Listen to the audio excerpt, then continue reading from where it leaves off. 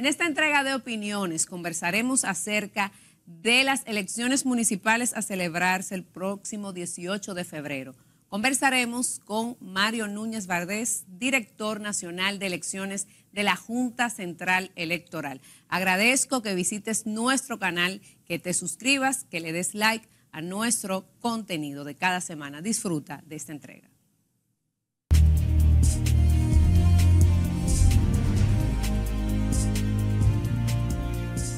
Ya está con nosotros Mario Núñez Valdés, quien es el director nacional de elecciones de la Junta Central Electoral. Bienvenido Mario, de verdad que siempre es un privilegio recibirte y más ahora, ¿verdad? Que estamos ya en la antesala del proceso electoral correspondiente a las elecciones municipales. Buenas noches, bienvenido a Opiniones.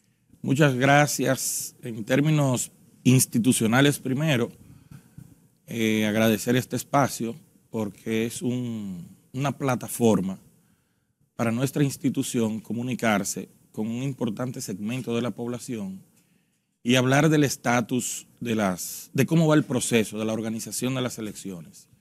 Y en el orden personal, pues muy complacido, gracias siempre a la orden y agradecerte a ti también las tantas manifestaciones de aprecio y cariño y sobre todo de respeto mutuo que existen. Así es, eso es, es, mutuo. En la presentación me faltó decir mi amigo, y compañero de labores, ¿verdad? Mario Núñez. Mario, vamos a hablar eh, de cómo van las cosas en torno a la jornada electoral. Y lo primero es cómo van las cosas en torno a la organización y al montaje de estas próximas elecciones que estamos a menos de un mes ya para concurrir a las elecciones municipales. Muy bien, la organización electoral tiene varios frentes que atender en el orden de lo legal, en el orden de lo administrativo, de la administración electoral propiamente, y en lo que tiene que ver con los aspectos técnicos. Respecto de lo legal, debemos decir que ya nos acercamos a unos plazos fatales que están vinculados, por ejemplo, con la designación del personal que habrá de trabajar en los colegios electorales. Esta es una tarea que está a cargo de las juntas electorales en cada municipio del país y en el Distrito Nacional estamos hablando que debemos designar por encima de las 84 mil personas en todo el país, puesto que nosotros vamos a abrir, se van a abrir para las elecciones, 16.851 colegios electorales en 4.295 recintos. Esto es una ardua labor, pero es una competencia exclusiva de las juntas electorales. Esto es un trabajo que viene ya afianzándose con el proceso de capacitación. Tú sabes que tuvimos una convocatoria abierta el pasado año donde la ciudadanía acudió en masas. ¿Cuántas personas concurrieron?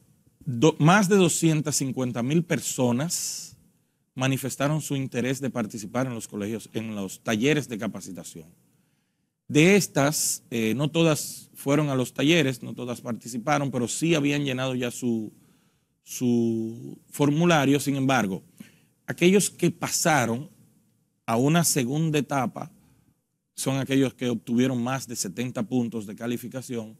Están por el orden de las 170 mil personas. O sea que contamos, están seguras esas 84 mil personas que se necesitan para cubrir las diferentes tareas en las próximas elecciones. Sí, eso es respecto del personal de los colegios electorales, porque por el otro lado tenemos unas 8 mil personas que servirán como técnicos zonales y técnicos de recintos para la instalación de los equipos que van a utilizarse en la digitalización de los resultados, en el escaneo y la transmisión de los mismos.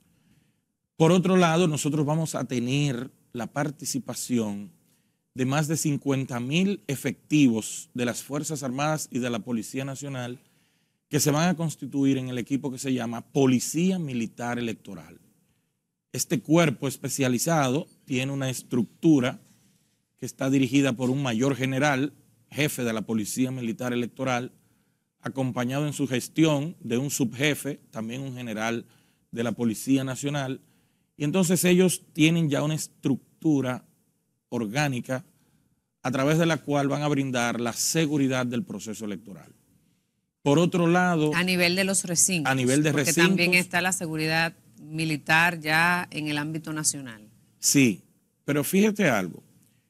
La, presencia militar y policial en el proceso electoral está a cargo de la Policía Militar Electoral, cuya subordinación está dada hacia la Junta Central Electoral. O sea, el presidente de la Junta y los miembros del Pleno se constituyen en los garantes del orden público, porque así lo manda la ley orgánica del régimen electoral, y entonces el cuerpo del orden, o sea, quien va a estar de servicio para el proceso electoral, debe estar dotado de su brazalete de identificación que lo acredita como miembro de la Policía Militar Electoral.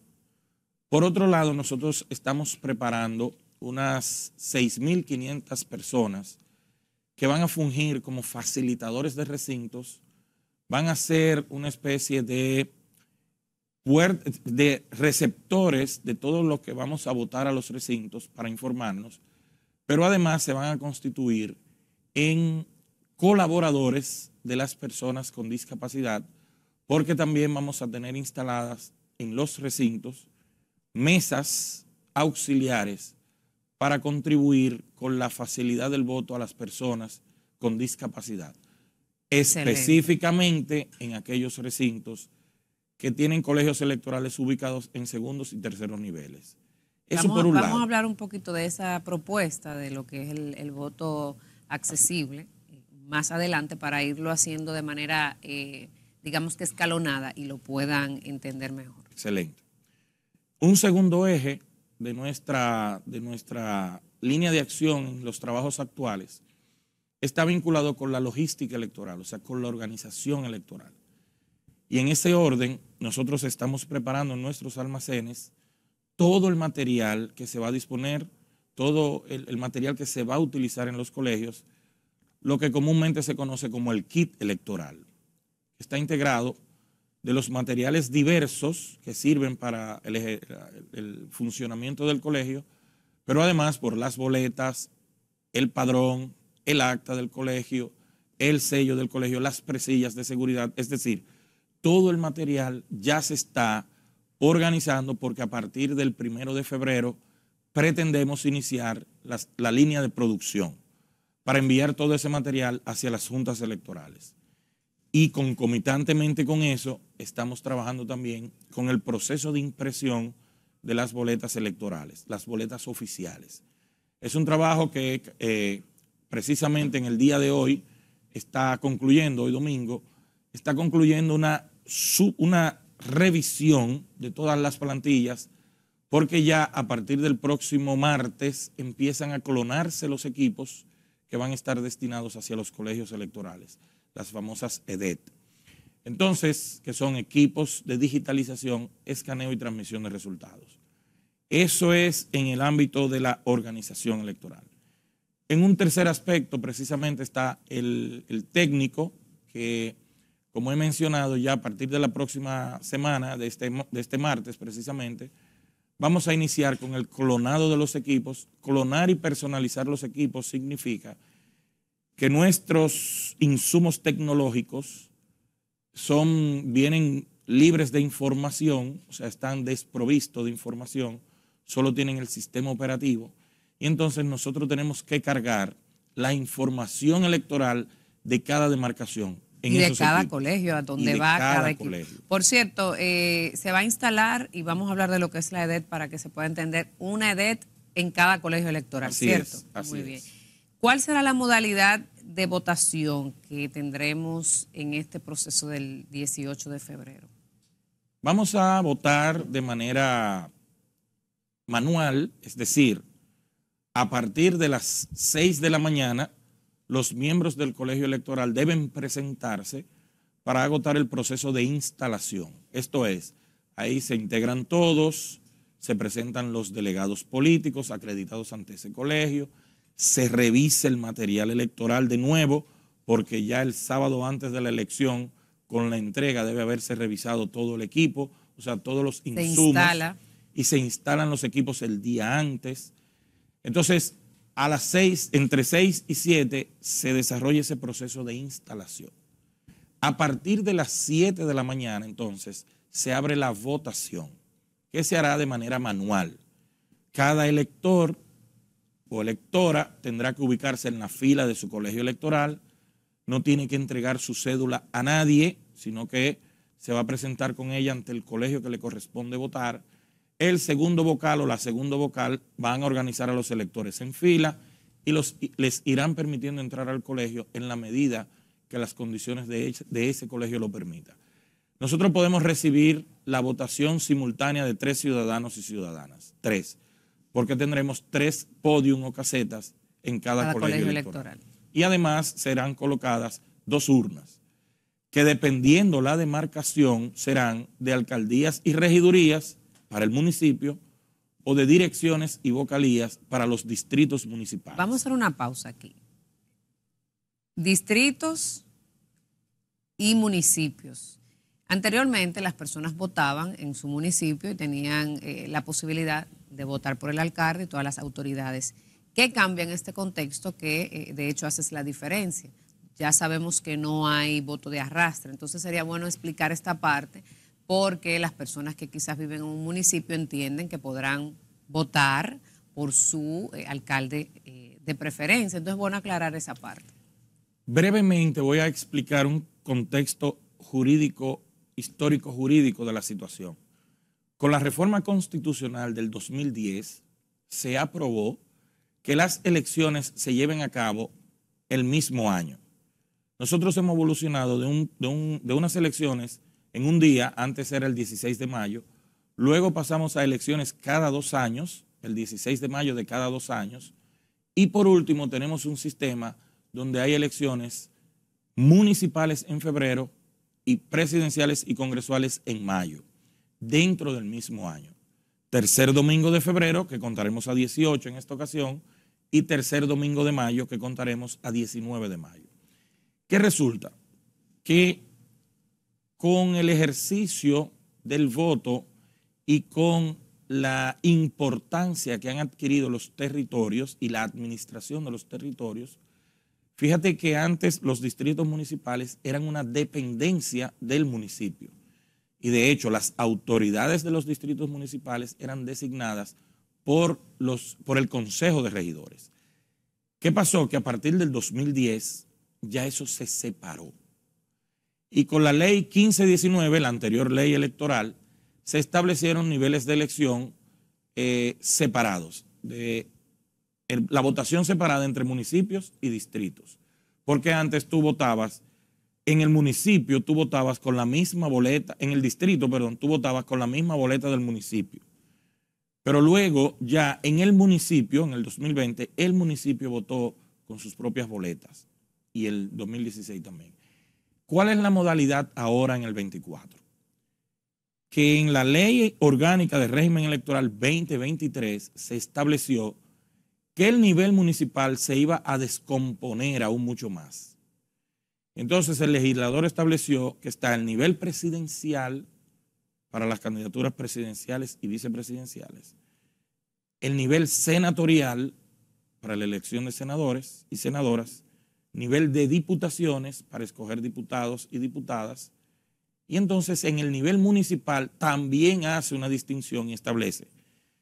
Ahora será nivel de alcaldías para la elección conjunta de alcaldes o alcaldesas y vicealcaldes o vicealcaldesas, nivel de regidurías para la escogencia de regidores y suplentes, entonces nivel de direcciones y nivel de vocalías. En, el nivel de direcciones se escogen directores y subdirectores y en el nivel de vocalías los vocales de los distritos municipales. Entonces, ante ese mandato de la ley, la Junta Central Electoral tiene que preparar dos boletas para cada territorio, dos boletas para el municipio y dos boletas para el distrito municipal. Es decir, en Boca Chica, por ejemplo, no es que conozca a nadie de Boca Chica. El pueblo, querido. Ah, es su pueblo. Muy bien. Muy buen ejemplo. En Boca Chica, usted tiene, tú tienes el municipio de Boca Chica, pero tienes el distrito municipal de La Caleta. Entonces, a Boca Chica, a los electores de Boca Chica, le llegará la boleta de alcalde y de, alcaldes y vicealcaldes y regidores para Boca Chica. Entonces a la caleta llegarán las boletas de directores y subdirectores y vocales. Esa es la distinción. Entonces, la división política establece que tenemos un distrito nacional, 157 municipios y 235 distritos municipales. En todos ellos hay elecciones en cuatro niveles. Y dependiendo del territorio, dos y dos. Mario, esto implica que ahora vamos a tener más cantidades de boletas, porque si tenemos más niveles, hay más boletas. ¿Cuántas boletas electorales vamos a tener en esta contienda eh, municipal? ¿Y cuál va a ser más o menos de manera resumida, verdad? ¿Cómo van a estar organizadas estas boletas y de qué forma eh, debe el ciudadano pues votar con esas boletas, que ya sabemos que la votación es manual. Así es. Bueno, nosotros vamos a tener 17.8 millones de boletas electorales municipales en sus diferentes niveles. Porque esta cantidad implica la elaboración de 798 artes diferentes. O sea, 798 tipos y diseños de boletas, diferentes. Diseños diferentes. O sea, para la Junta Central Electoral, en esta ocasión, las elecciones municipales, mira, en el tiempo que yo tengo en la Junta, en términos logísticos. ¿Qué tiempo tienes, por cierto? Yo tengo, voy a cumplir 27 años en la institución. Y en términos logísticos, te pudiera decir que este debe ser el proceso más complejo que se ha administrado en el tiempo que yo conozco. En el ámbito municipal. En el ámbito municipal, porque la atomización del nivel de elección complejiza, o sea, hace más menudo el tema de la organización electoral y sobre todo de las boletas. Entonces, con las boletas hay que tener un cuidado extremo para evitar, primero, que no estén los candidatos que deben estar en la boleta. Segundo, que no esté la boleta en la demarcación donde debe estar. Tercero, y eso, perdón, y eso incluye ese, ese punto 2, tiene un subpunto 2A, 2B, que estas demarcaciones sean del municipio o del distrito y que corresponda precisamente, en el caso donde hay circunscripciones, que no hay una mezcla de, de una boleta en una circunscripción u otra. Entonces es complejo. Y también agregar ahí que cumpla con eh, los acuerdos de alianzas. Exactamente. Que hayan suscrito las organizaciones políticas. Que qué bueno que lo mencionas. El tema de las alianzas hace mucho más complejo este proceso municipal. Porque resulta que el fenómeno de las alianzas, que es una prerrogativa que tienen los partidos, las agrupaciones y los movimientos, también se atomizó. Y de pasar de un escenario donde la ley 3318 de partidos, agrupaciones y movimientos, establecía que las reservas para alianzas debían estar en el orden máximo de un, de un 20%, pues resulta que la ley 2023 te da un escenario donde tú te puedes aliar en un 100%. Entonces, ese aspecto también, manejar, administrar ese tema, ha sido de mucha complejidad para las áreas técnicas de la Junta que yo creo que tú has podido constatar. Claro, sobre todo porque tenemos 42 organizaciones políticas que concurren en estos procesos con situaciones e intereses evidentemente diversos. Mario, tenemos que hacer nuestra primera pausa. En breve continuamos con esta interesante conversación acerca del proceso electoral, elecciones 2024. Ya volvemos.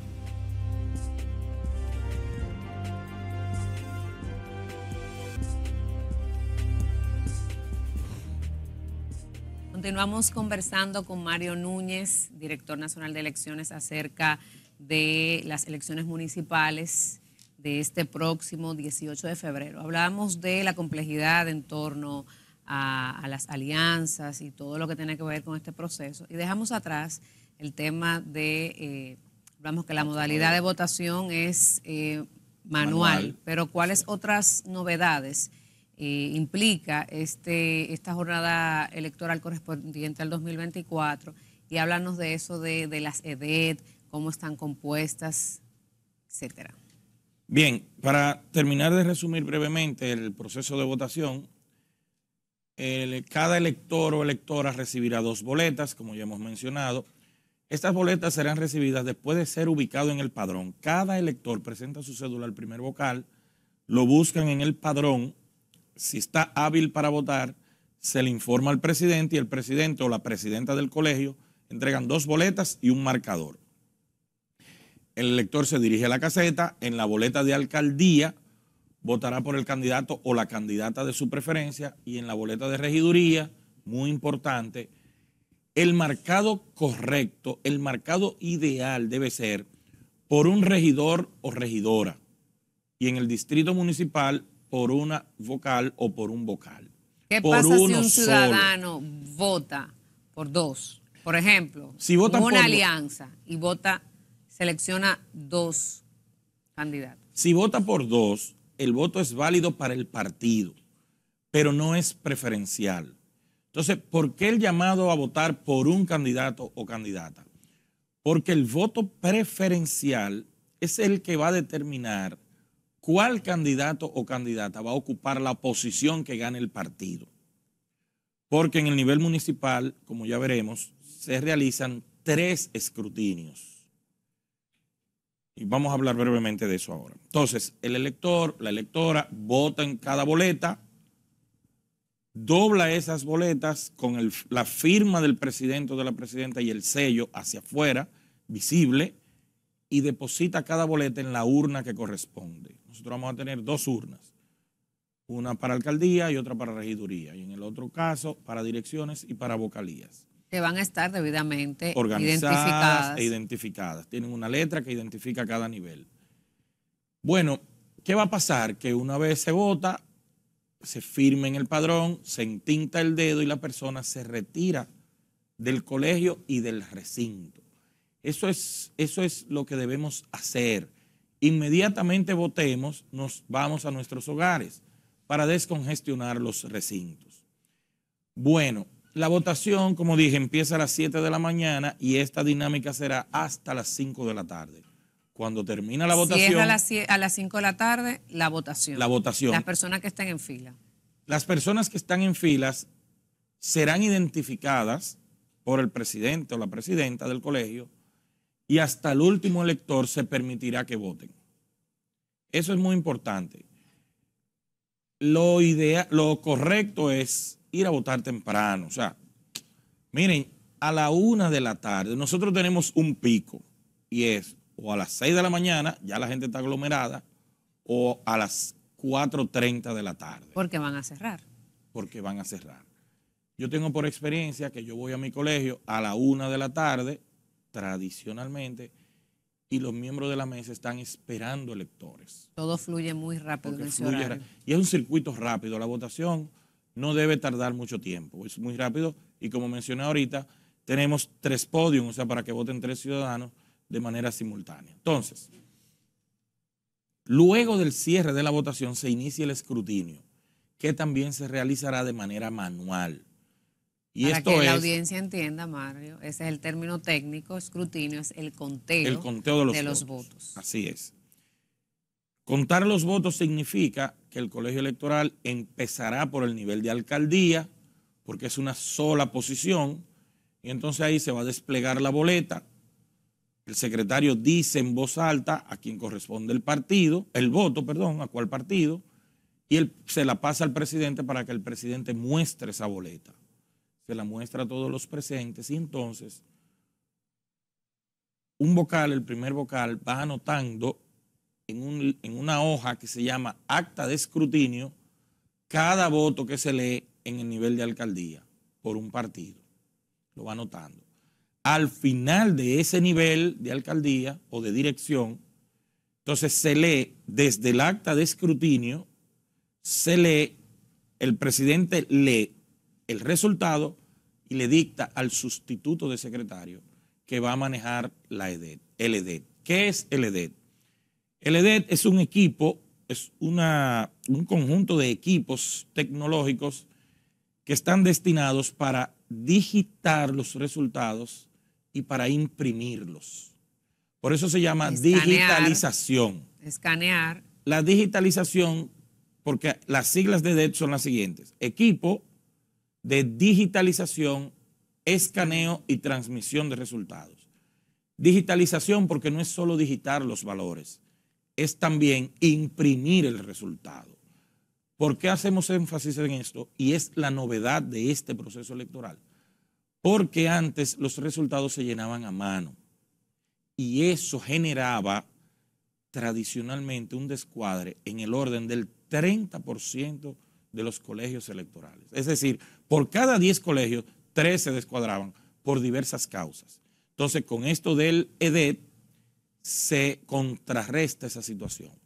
Entonces, ahí, una vez el sustituto de secretario digite todos los resultados, imprime esos resultados, los revisan, lo que dice el acta de escrutinio versus lo que se ha impreso, y si está todo correcto, entonces se procede a, firmar, a firmar los resultados y a sellarlos.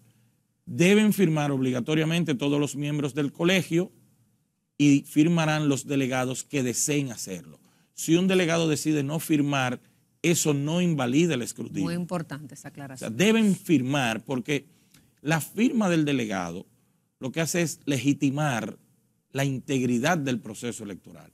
Ahora bien, si un delegado decide no firmar en el propio libro de acta, el colegio electoral, el secretario o la secretaria hará la anotación de que ese delegado no quiso firmar. Pero eso no invalida. Pero no invalida el resultado. El resultado. Entonces, luego de la digitalización, o sea, ya firmamos, ya sellamos. Ya imprimimos. Ya, ya imprimimos, firmamos y sellamos. Entonces se procede a escanear el resultado.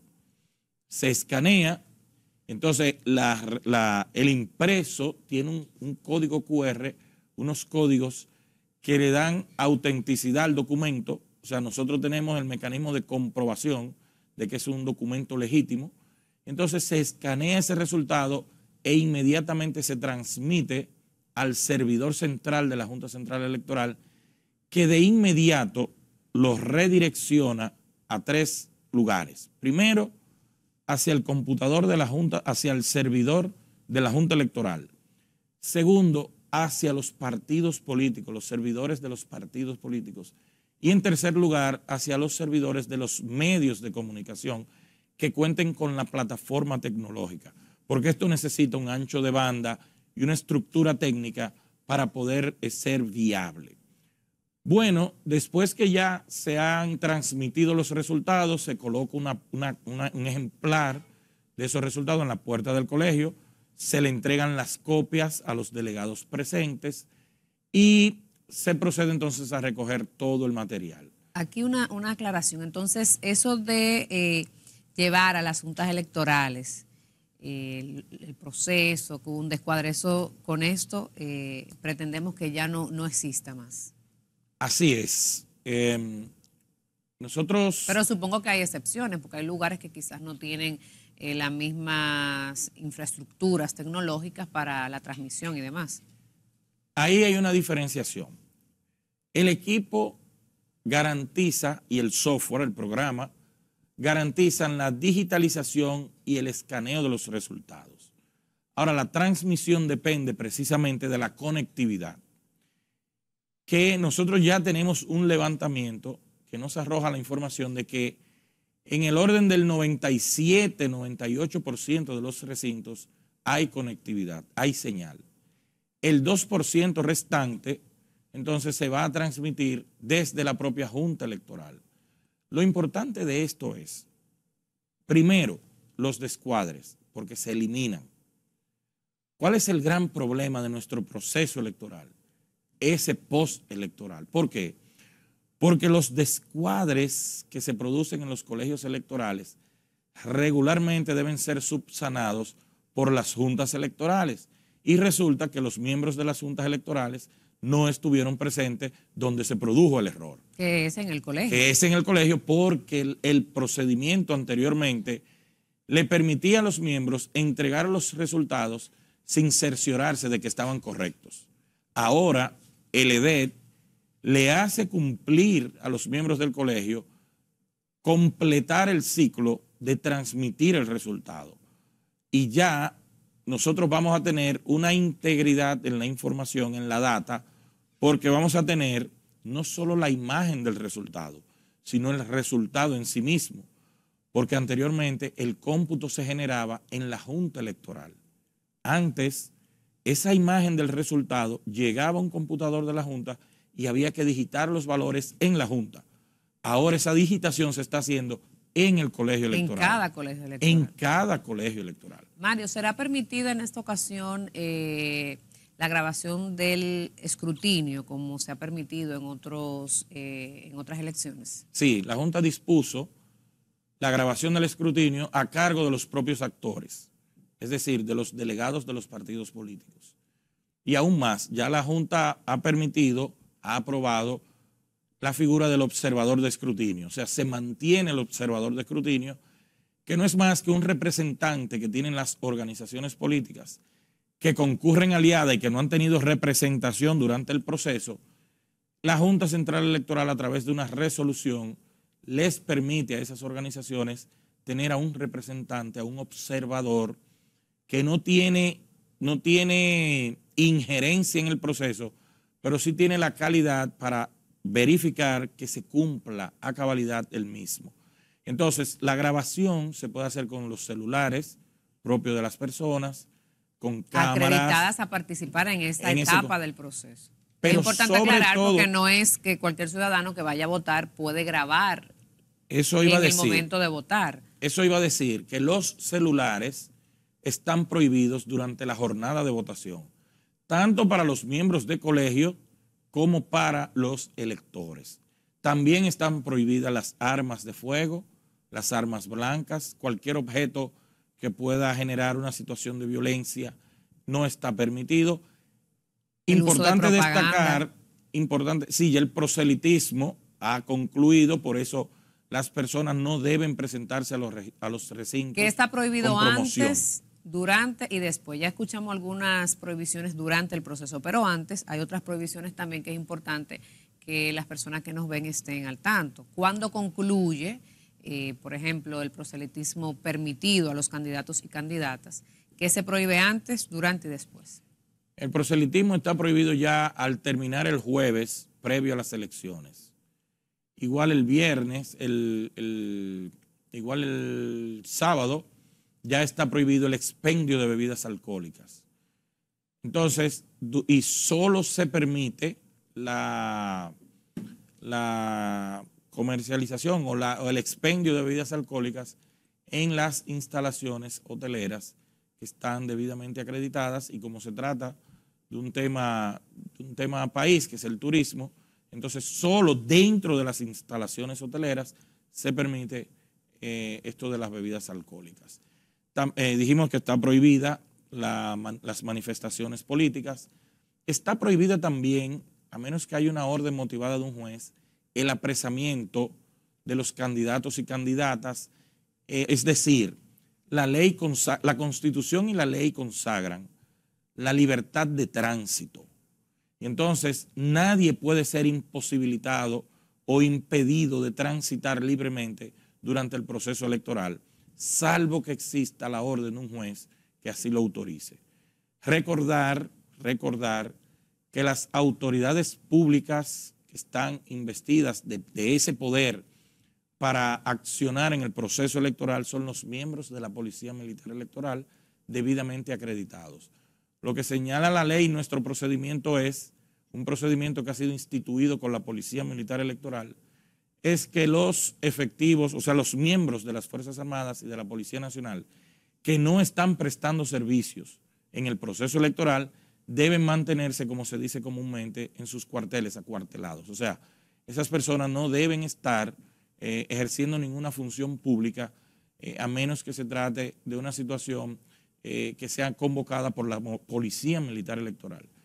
Entonces, esos aspectos son debidamente controlados en la ley, son, están taxativamente señalados en la ley y son los, los que debemos cumplir. Vamos ahora a invitarte y a invitar a nuestra audiencia a ver este audiovisual que nos ha compartido la Junta Central Electoral para que puedan eh, ver de manera gráfica todas estas explicaciones que nos comparte el director nacional de elecciones. Adelante.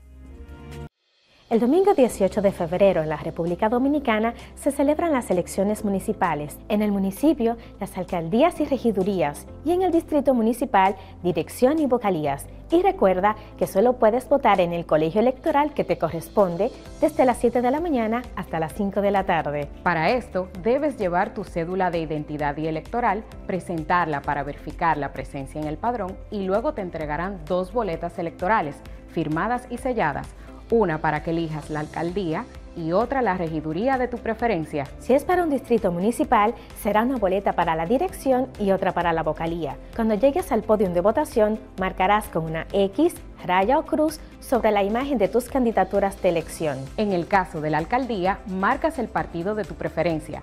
Si es regiduría, marca sobre la fotografía de un candidato o candidata para ejercer el voto preferencial. Después, dobla las boletas y deposítalas en las urnas correspondientes. Al concluir, firmas el padrón e intintan tu dedo, recibes de vuelta tu cédula y sales del recinto electoral.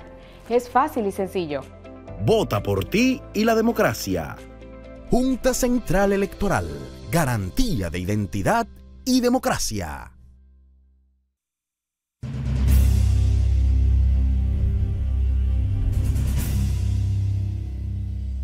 Gracias por continuar en Opiniones. Recuerden nuestras redes sociales, arroba Lenis Opiniones, arroba Lenis García G y nuestro canal de YouTube, Lenis Opiniones. Mario, hablemos de esto del voto accesible.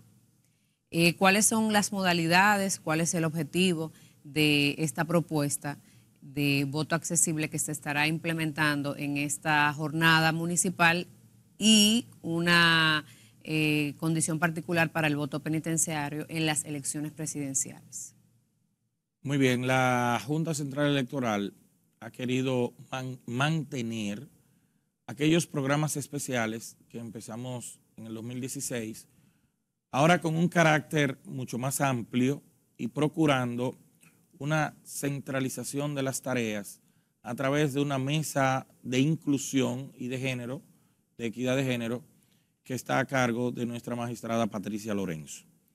Se persigue a través de estos proyectos facilitar de diferentes vías el acceso al voto a las personas con discapacidad. Por eso le hemos llamado internamente proyectos inclusivos, proyectos de votación inclusiva, porque lo que procuran es garantizarle a las personas que puedan ejercer el sufragio en la mejor de las condiciones. Y para ello, nosotros vamos a tener en aquellos recintos donde hay colegios electorales ubicados en segundos y terceros niveles, vamos a tener una mesa auxiliar de votación. Estamos hablando de alrededor de 400 recintos y tantos que van a estar eh, incorporando una mesa auxiliar de votación. Por otro lado, vamos a tener las plantillas auxiliares para personas con discapacidad. ¿Qué es esto?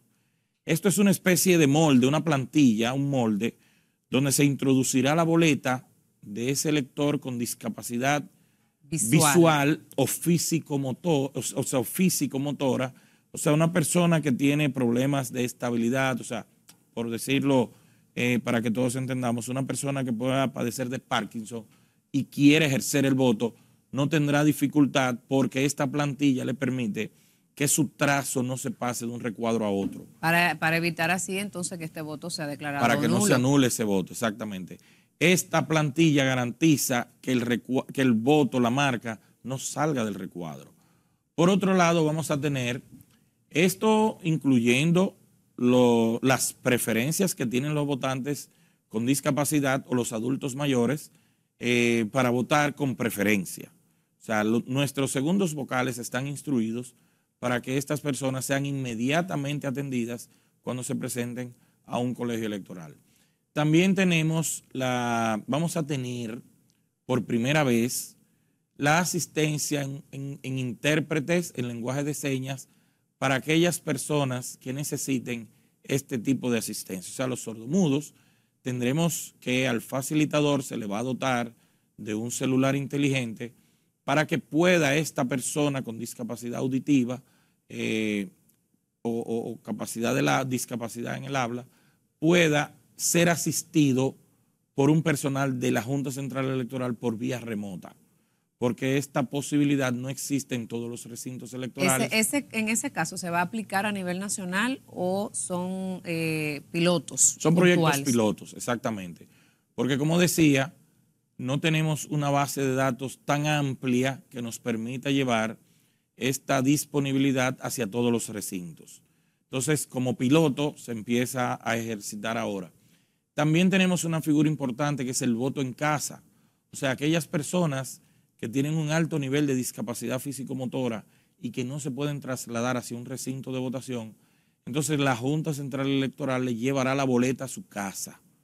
Como ya se ha ejercitado esta figura, estaremos integrando comisiones que se trasladarán a cada hogar que haya sido aprobada esta figura. Para eso hay que llenar algún formulario donde las personas pueden acceder a este formulario si, si, en caso de que sea necesario. En nuestra página web, en nuestra plataforma digital, nosotros tenemos el formulario de, para precisamente permitir el registro de las personas que por, por su condición ¿verdad? de discapacidad no se pueden trasladar. O sea, no es que una persona que tiene 35 años de edad, 45 años de edad, que está en plenas facultades físicas, que no tienen ninguna discapacidad, vaya a llenar el formulario para que le lleven una boleta. No, no, no operará así, sino que usted debe llenar su formulario virtual, eso va a caer en un repositorio, pero nosotros tenemos los medios internamente para confirmar la identidad de esa persona. Entonces, esta es otra de las... ¿Esta modalidad se va a implementar en las municipales o en las elecciones presidenciales y congresuales? Mira, atendiendo al poco tiempo que ya hay entre, eh, entre esta fecha y las elecciones municipales, hemos ponderado que esta ejecución se lleve a cabo para las elecciones de mayo, para las elecciones presidenciales. Y una figura muy importante también que estamos eh, de nuevo rescatando es el voto penitenciario. De hecho, en los medios salió recientemente una ampliación a 23 provincias ya Así recientemente. Es. Tenemos, nosotros vamos a llevar el voto a aquellas personas que están privadas de libertad en condición preventiva. Es decir, no pesa sobre ellos una sentencia definitiva que le suspenda sus derechos civiles y políticos.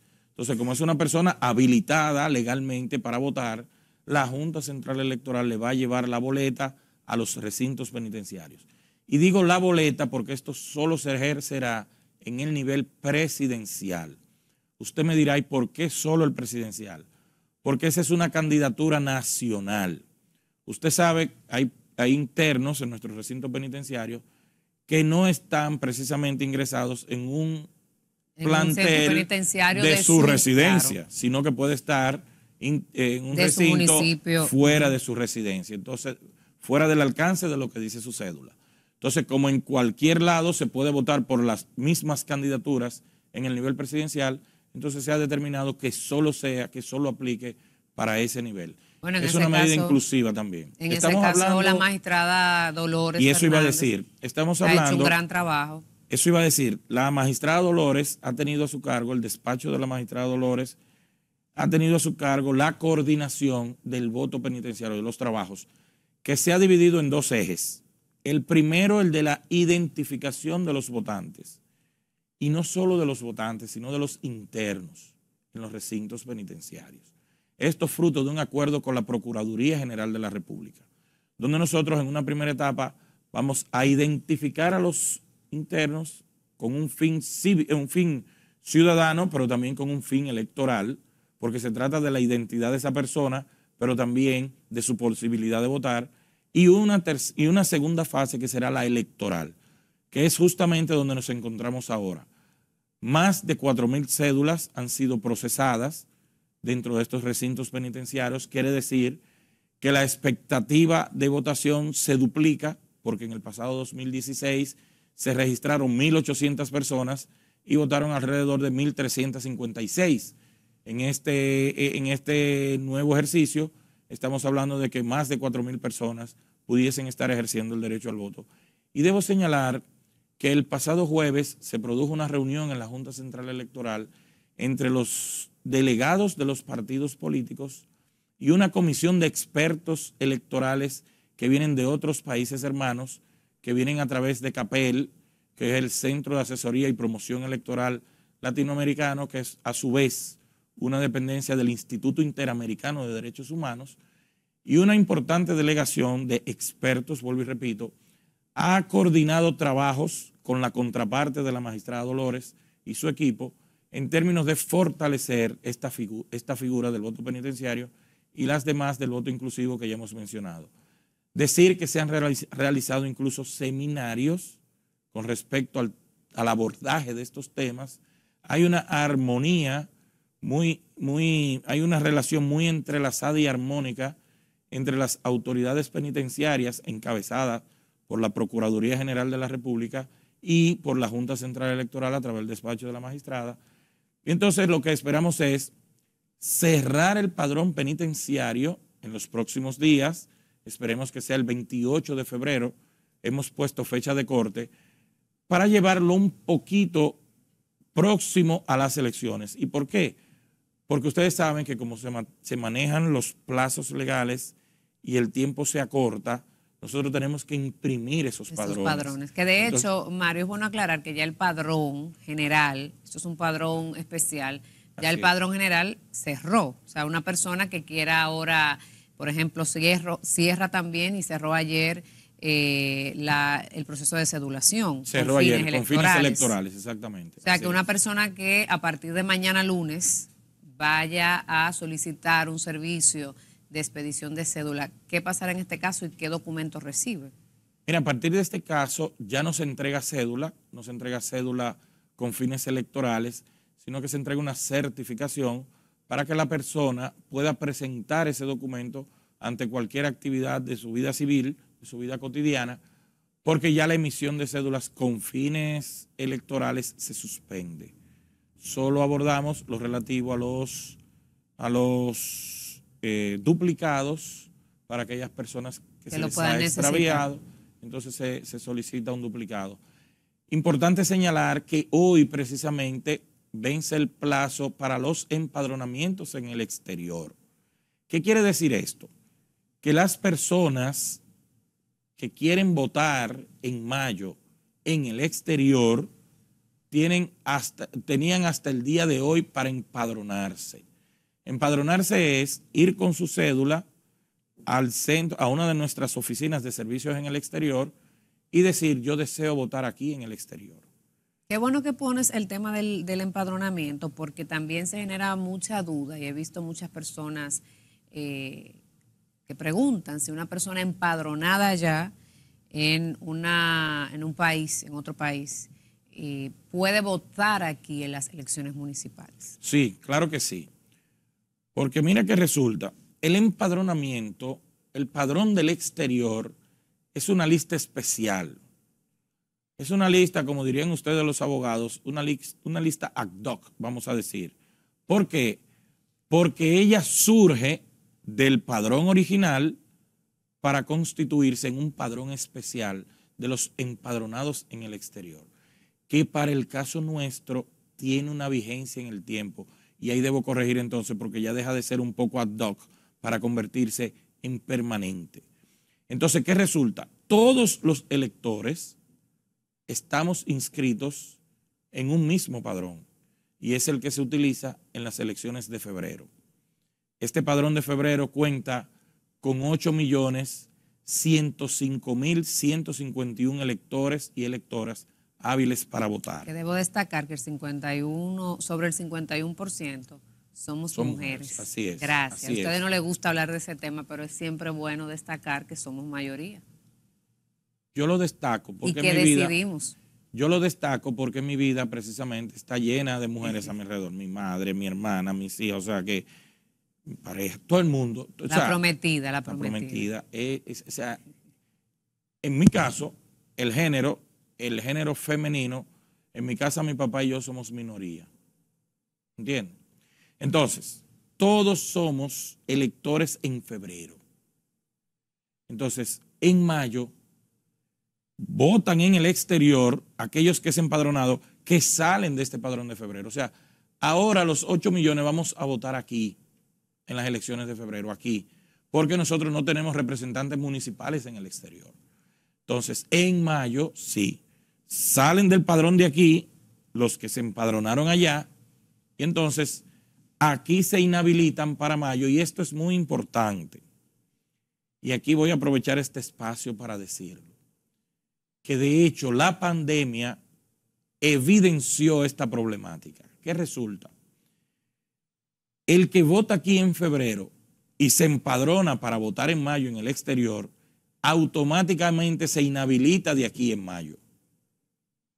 O sea, se inhabilita del padrón de aquí para votar en el padrón, del, exterior. el padrón del exterior. Entonces, ¿qué resulta? Que a veces una persona vota aquí en febrero y se va para el exterior, pero resulta que tiene que venir en mayo y entiende que va a votar aquí también en mayo. No, porque ya usted se empadronó en el exterior.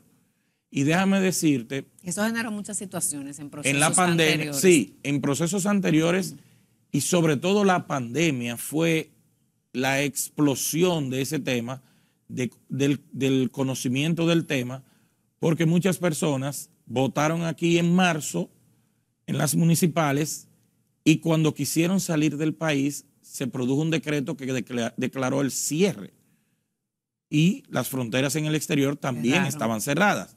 Entonces la gente no pudo salir. ¿Y qué pasó con las elecciones de julio? Que cuando la gente se presentaba a votar, le decían, no, es que usted está inhabilitado porque vota en el exterior. Pero ¿cómo voy a votar en el exterior si la, la, pandemia no me permite salir del país? No, pero usted está inhabilitado. Entonces no pudieron votar. Esto es muy importante y que la gente lo tenga claro. Si usted se empadronó para votar en el exterior, en mayo no podrá votar aquí, tendrá que hacerlo allá.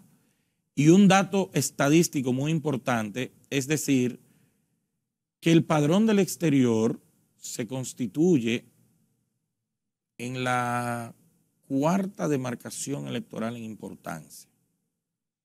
Pasó de ser la quinta, ahora a ser la, cuarta. Porque más de 860 mil personas decidieron empadronarse para votar en el exterior. ¿Qué resulta? Que eso al exterior, a las tres circunscripciones del exterior, la constituye en la cuarta en importancia. Implicará esto también un mayor laborantismo político porque las organizaciones ya tendrán en el exterior un nicho muy importante. Estamos hablando provincia Santo Domingo, Distrito Nacional, provincia Santiago y el exterior. Esas son para mayo las cuatro demarcaciones más fuertes en términos electorales. Luego viene San Cristóbal, La Vega, Duarte y así por el estilo, pero el exterior tiene una connotación para este proceso muy particular. Y ya nosotros creemos, consideramos técnicamente en la Junta internamente, que para las elecciones del 28, definitivamente el exterior posiblemente ya desplace a la tercera. A la tercera. Y cuidado si a la segunda. Porque en la medida que los dominicanos y las dominicanas en el exterior se interesan en participar en los procesos electorales, entonces en esa misma medida crece el empadronamiento y crece el padrón del exterior. Muy bien, Mario, el tiempo eh, en estos medios, ¿verdad? Eh, es traicionero, como siempre digo. Una reflexión o un mensaje final para las personas que nos ven y, que están pues disfrutando de esta conversación contigo. ¿Cómo no? El proceso electoral, el proceso electoral es una actividad, es un mandato constitucional que está señalado para la ciudadanía. Si ustedes se fijan, el primer derecho de ciudadanía, el primero, es elegir y ser elegible. El primero.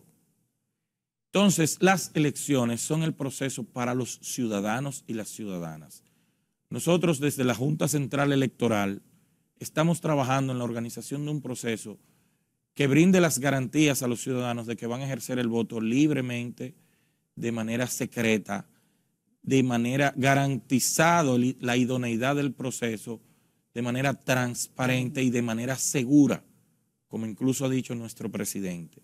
Entonces, la participación electoral es lo que nosotros queremos con un alto nivel de civismo, que la gente acuda a votar de manera organizada, que vote temprano o que vote en la hora que desee votar, pero que se marche del recinto una vez lo haga y que podamos todos celebrar al final de la jornada un proceso que sea de la satisfacción del país.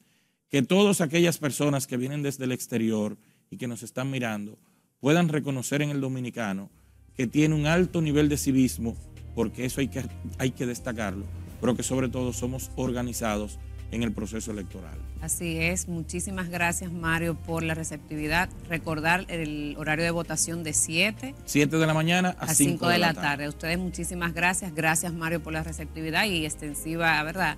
Eh, las gracias, el agradecimiento a nuestro presidente Román Jaques por la oportunidad. A ustedes gracias por acompañarnos cada domingo. Recuerden que aquí la opinión es de todos. Hasta la próxima.